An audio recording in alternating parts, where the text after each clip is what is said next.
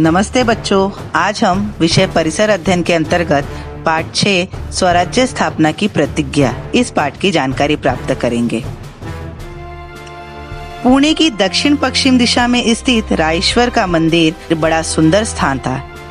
ईसवी सन 1645 में वहाँ एक विलक्षण घटना घटी।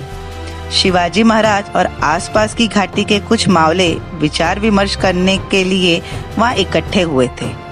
उस घने जंगल में पेड़ों और झाड़ियों के बीच स्थित रायश्वर के मंदिर में मावले शिवाजी महाराज के साथ किस बात पर चर्चा कर रहे थे?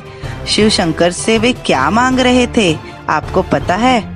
वह मांग रहे थे, शिवाजी महाराज आयु में अभी बहुत छोटे थे, परंतु उनकी महत्वाकांक्षा ऊँची थी। उन्होंने एक बड़ी योजना बनाई। शिव मंदिर में इकट्ठे हुए अपने साथियों से उन्होंने बड़े उत्साह और विश्वास के साथ कहा, साथियों क्या आज मैं तुम्हें अपने मन की एक बात बताऊँ? हमारे पिताजी शाहजी राजे बीजापुर के सरदार हैं। उन्होंने ही हमें यहाँ की जागीर का अधिकार दिया है। सब कुछ तो ठीक चल रहा है, मगर साथियों, मुझे इसमें जरा सी भी खुशी नहीं है। सुल्तान की जागीर से हम क्यों संतुष्ट रहें? दूसरों के हाथ से हम पानी क्यों पिए? हमारे चारों तरफ़ कई दूसरे राज्य हैं। उनमें प्राय युद्ध चलते रहते हैं। इन युद्धों में हमारे आदमी व्यर्थ ही मरते हैं। बहुत से परिवार बेघर हो जाते हैं। हमारे प्रदेश की बर्बादी होती है। इतना सब सहकर भी हमें क्या मिलता है? पराधीनता। पराधीनता अर्थात दूसरों की कैद। हम कितने दिनों तक इसे सहते रहेंगे? दूसरों के लिए हम कितने दिनों तक कटते मरते रहेंगे? बताइए, आप ही बताइए। जागीर के लोभ से क्या हम इसे ऐसे ही चलने देंगे? शिवाजी महाराज आवेश के साथ बोल रहे थे। क्रोध से उनका चेहरा तमतमा रहा था। बोलते बोलते वे रुक गए। उन युवा साथियों की ओर देखने लगे।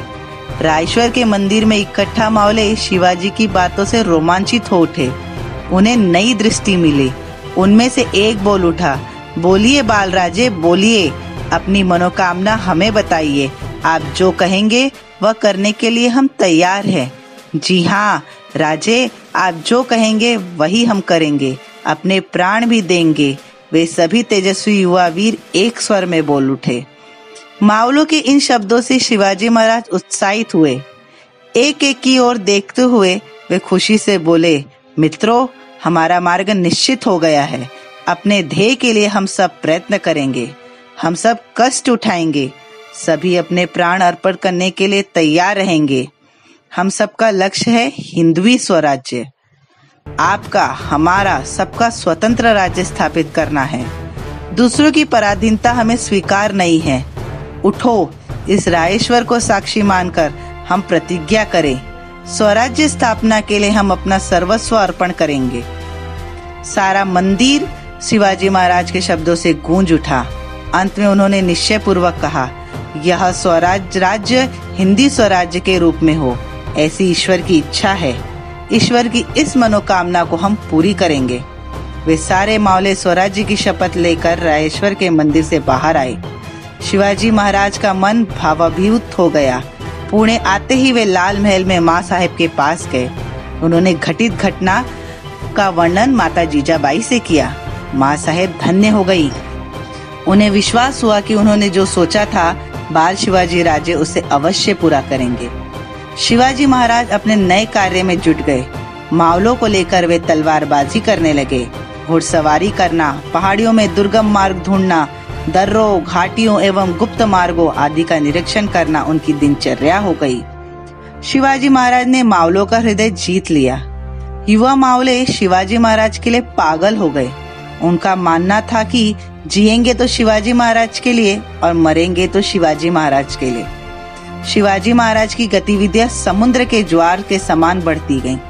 शिवाजी महाराज ने पुणे के आसपास के सभी गढ़ और किलों का अपने साथियों के साथ निरीक्षण किया। उन्होंने गुप्त मार्गों, सुरंगों, तहखानों, गोला बारूद, अस्त्र शस्त्र तथा शत्रु सेना के स्थलों की पूरी जानकारी शीघ्र ही प्राप्त कर ली। मावल प्रदेश में जगह जगह कई देशमुख अपनी अपनी जागीर संभाले बैठे थे। उन्हें अपनी जागीर का बहुत लोभ था। वे जागीरों के लिए आपस में लड़ते झगड़ते रहते थे। इन झगड़ों में मराठों की शक्ति अनायास ही बर्बाद हो रही थी। यह बात शिवाजी महाराज ने अच्छी तरह जान ली थी। उन्होंने उसे रोकने का दृढ़ निश्चय किया। शिवाजी महाराज देशमुखों के गाँव में जाते और उन्हें ये बात समझाते। उन्हें स्वराज्य के उद्देश्य से प्रभावित करते। शिवाजी महाराज ने अपनी मधुर वाणी से उन्हें अपना बना लिया। परंतु कुछ लोगों ने उनकी अवज्ञा की। उन्हें भी शिवाजी महाराज सही रास्ते पर ले आए। मराठों के आपसी झगड़ों को उन्होंने समाप्त करवाया। सब उन्हें धन्यवाद देने लगे। मावल प्रदेश के झुंझार राव, मरवल, हैबत राव शिलमरकर, बाजी पासलकर, विठोजी शितोले, जेधे, पायुगड़े, बांदल आदि देशमुख शिवाजी महाराज की बात मानने लगे। मावल प्रांत में स्वराज्य की लहर तीव्र गति से बढ़ने लगी। शिवाजी महाराज के नाम से जागीर का प्रशासन प्रारंभ हुआ। शाहजी राजे ने शिवाजी महाराज की स्वतंत्र राजमुद्रा तैयार की। वह इस प्रकार थी। प्रति पंचंद्र लेखे व बहिष्णी विश्व वंदिता शहाशुने शिवस्या मुद्रा भद्राय राजते। प्रतिपदा के चंद्रमा की तरह बढ़ने वाली और सारे संसार के लिए पूजनी होने वाली यह राजमुद्रा शाहजी राजे के सुपुत्र शिवाजी राजा की राजमुद्रा लोगों के कल्याण के लिए है। यह संदेश देने वाली राजमुद्रा स्वराज्य की स्थापना का संकेत ही थी। उस कालखंड में राजमुद्रा प्राय फारसी भाषा में उकेरी जाती थी, परंतु शिवाजी महाराज की राजमुद्रा संस्कृत भाषा में थी। स्वराज्य की तरह ही स्वभाषा और स्वधर्म भी चाहिए, किंतु दूसरे धर्मों का द्वेष भी न हो। शीघ्र ही सभी मावलों की समझ में आ गया कि शिवाजी महाराज ने यह कार्य लोक कल्याण के लिए प्रारंभ किया था। इस प्रकार शिवाजी महाराज ने स्वराज्य स्थापना की प्रतिज्ञा ली और उसे पूर्ण करने का प्रयास करते रहे और उसमें उनका पूरा सहयोग मावलों ने दिया। जो शिवाजी कहते, मावले वही करते थे। उम्मीद है आपको यह पार्ट समझ में आया होगा और अच्छा लगा होगा। अगर आपको यह पार्ट अच्छा लगा है, यह वीडियो अच्छा लगा है तो इसे लाइक, शेयर और कमेंट ज़रूर करें और इसे सब्सक्राइब कर बेल आइकन को क्लिक करें। धन्यवाद।